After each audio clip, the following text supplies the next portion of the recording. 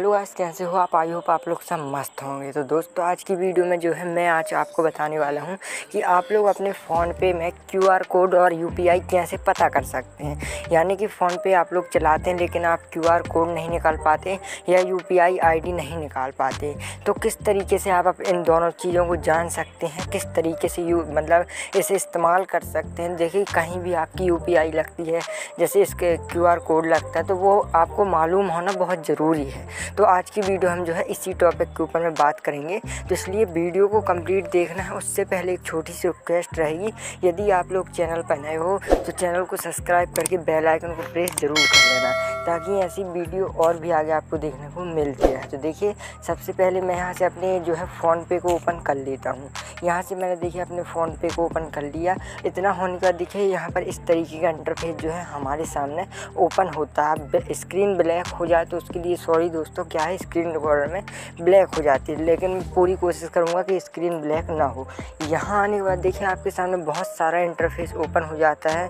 To mobile number to bank U P I यहाँ account वाला check balance वाला, सभी ऑप्शन आपको देख, देखने को मिल जाती हैं। लेकिन आपको यहाँ जो है क्यू आर कोड और यू पी आई का ऑप्शन नहीं मिलता।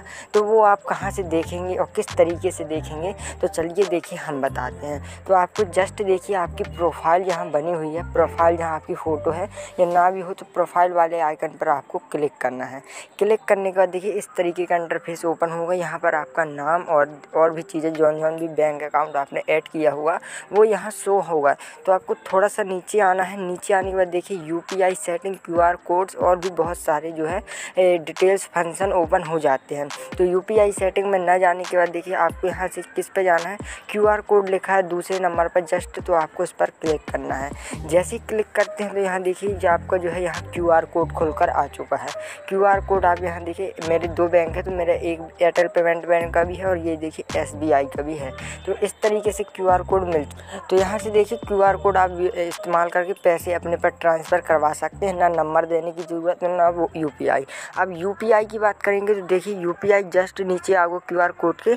तो यहाँ लिखा हुआ है U P I I D मतलब यहाँ देखिए आपकी यू पी आई भी आपको यहाँ देखने को मिल जाएगी। मतलब एक क्लिक पर आपको यहाँ दोनों चीज़ देखने को मिल जाएँगी। देखिए, मेरे इस तरीके की यूपीआई है। मैंने ब्लर किया हूँ सिक्योरिटी के कारण। तो इस तरीके से आपकी जो है यू पी आई देखने को यहाँ मिल जाएगी। अब आप फट से अपने जो जो भी बोलता है, आप फट से एक मिनट पर क्लिक करके अपना क्यू आर कोड और यू पी आई दे सकते हैं देख कर तो इस तरीके से यहाँ पर यू पी आई जो है देखी जाती है। क्यू आर कोड आपको यहाँ मिल जाता है। तो इस आई होप जो मैं इस वीडियो में आपको बताना चाहता था, समझाना चाहता था, वो आपको समझ पर आया होगा। वीडियो बहुत छोटी थी, लेकिन बहुत हेल्पफुल थी। अगर वीडियो थोड़ा सी भी पसंद आती है थोड़ा सा भी कुछ समझ पे आपको सीखने को मिलता है तो इस वीडियो को लाइक करके चैनल को सब्सक्राइब ज़रूर कर लेना, ताकि ऐसा ही वीडियो फ़ोन पे गूगल पे की और भी आगे आपको देखने को मिलती रहे। ऑनलाइन शॉपिंग पर भी मैं वीडियो बनाता हूँ, आप मेरे चैनल पर विज़िट करके देख सकते हैं। तो मिलिए, चलिए मिलते हैं किसी नेक्स्ट इंटरेस्टिंग वीडियो में, तब तक के लिए जय हिंद